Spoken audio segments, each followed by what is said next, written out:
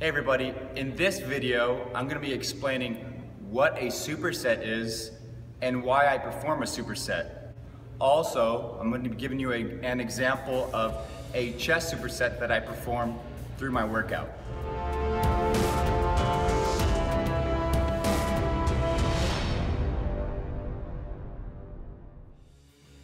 Okay, so what is a superset?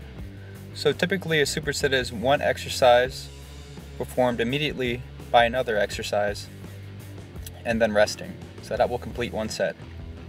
Um, why do I do supersets? Typically to shock the muscle, um, to take my body out of its homeostasis or out to what it's used to.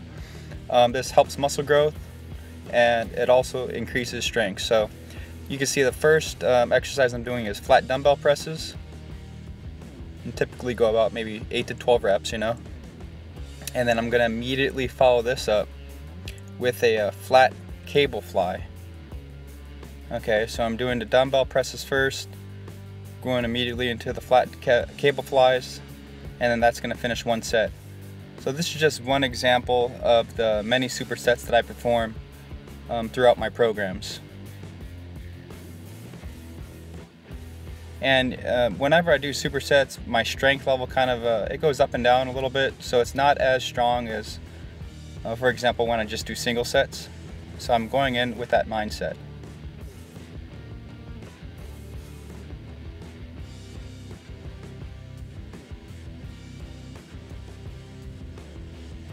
Good quality squeezes. And that's it. So if you have any questions, feel, please feel free to leave a comment. And um, if you need any help or online coaching, please check out my website. And that's it. Thank you for watching.